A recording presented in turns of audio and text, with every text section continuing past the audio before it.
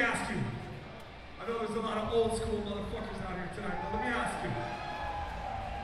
Who was not alive in 1995?